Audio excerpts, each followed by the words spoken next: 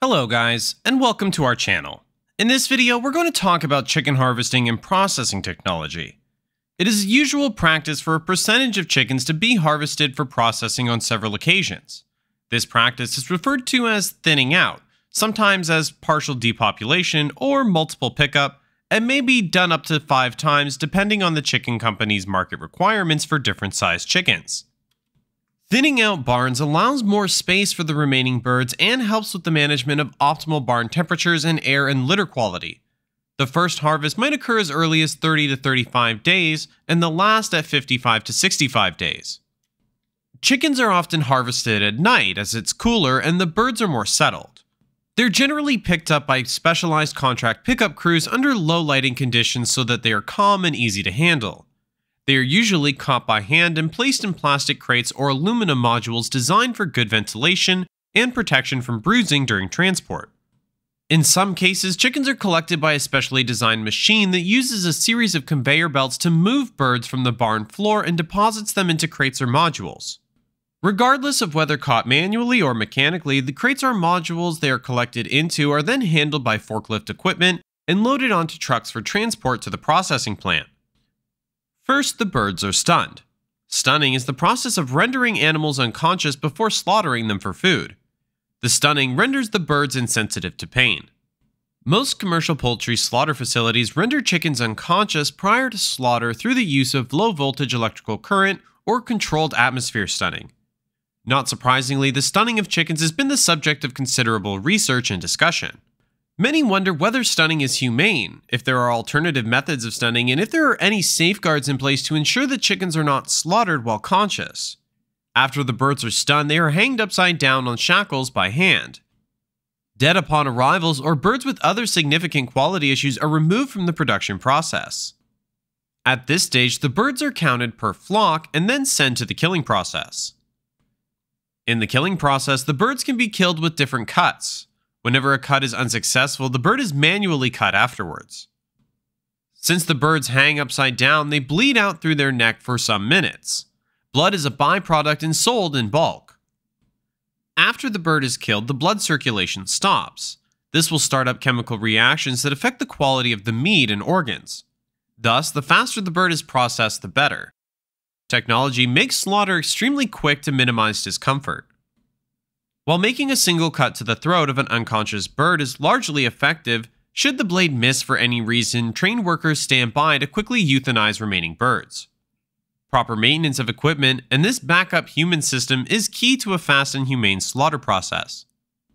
After the birds have bled out, they enter the scalding process. Several baths of hot water will macerate and clean the bird's skin. Proper agitation of the scald water through the use of water pumps or addition of air pumped into the scald tank ensures efficient wetting of the feathers. Multi-tank counter-current flow scalders are very effective in the removal of dirt and organic matter from the carcass, and ensures carcasses are progressively exposed to cleaner water. This practice is important in preventing cross-contamination.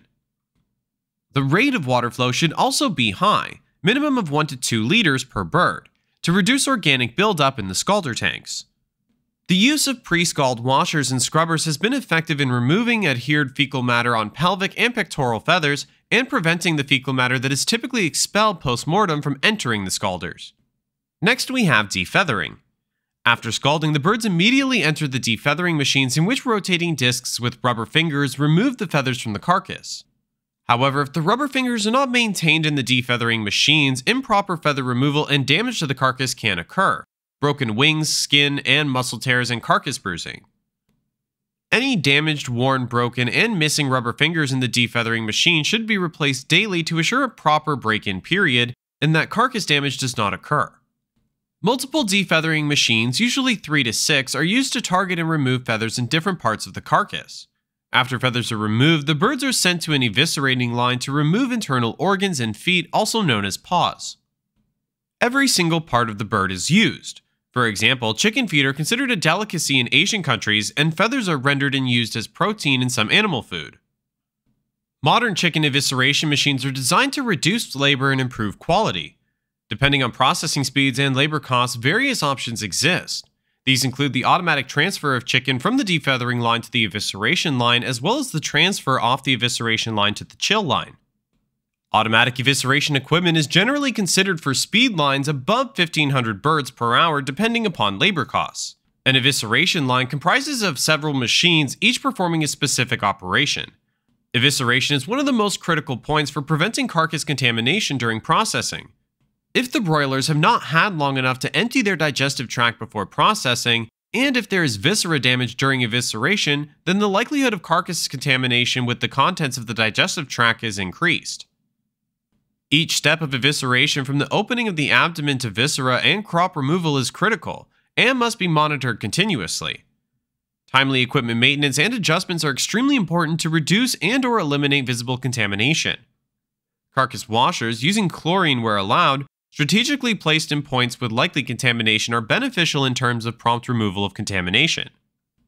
The harvesting of giblets, heart, liver, gizzard, and necks is done following evisceration through either manual or automatic processes.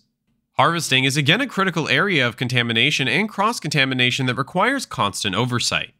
The extent of bacterial load on the final product is an extremely important parameter, in addition to continuous maintenance of the cold chain in determining the shelf life of fresh poultry. Next, the head and feet are removed and processed as waste or bulk, such as skin and paws. Then the organs and other viscera are removed in the evisceration process as well as the neck and neck skin. Most of it is sold as bulk. The last process step is chilling and maturation and takes around two and a half hours. At the first stage, the broilers are cooled down extremely fast to stop any growth of microorgans. The two most common methods of carcass chilling are water immersion and air chilling. Immersion chilling involves placing carcasses into a counterflow water system at 0 to 1 degrees Celsius for 1.5 to 3 hours, depending on carcass weight. The aim is to reduce the deep muscle temperature to less than 4 degrees Celsius to inhibit the growth of microorganisms. Where chlorine is allowed to be used, one of the key issues in water immersion chilling is to maintain a free chlorine level of about 5 ppm to reduce the likelihood of cross contamination. In areas where chlorine is allowed to be used, chlorine is more effective at or near a water pH of 6.5. Organic acids are commonly used to acidify the water to enhance chlorine effectiveness.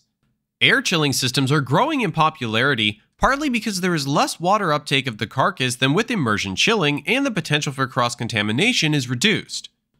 Air chilling systems are characterized by chilling carcasses in environmentally controlled room with forced cold air. Because the rate of heat transfer is much slower with air than in water, it takes much longer to air chill. Recently, carcass chilling systems involving both water and air chilling have become available. Then, the chilling process is slower to speed up the breakdown of protein. The broiler maturates to improve the quality and shelf life. Monitoring the chilling process is very important since the birds lose moisture and is equivalent to losing weight.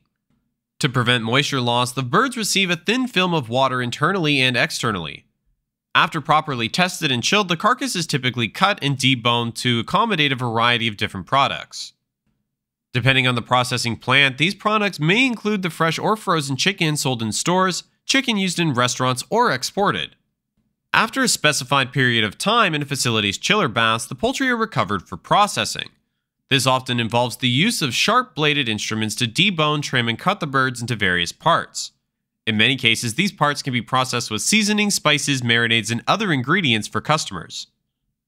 Secondary processing may also occur in which parts are converted to ready to eat products such as hot dogs, sausages, or nuggets. Packaging of birds, either in whole or in parts, occurs as a last step prior to shipping to food distribution networks. Once chicken is cut up into parts, it is packed in trays and wrapped. The wrapped product is then inspected again to ensure that it meets or exceeds both consumer and customer expectations. Wrapped product is placed in baskets and sent through a blast tunnel to receive a chill. This is done so that the product can have an extended shelf life by keeping it fresh longer. Though the product is significantly cooled during this process, it does not freeze. After the product is properly chilled, it is weighed and priced, and safe handling instructions are affixed to the package.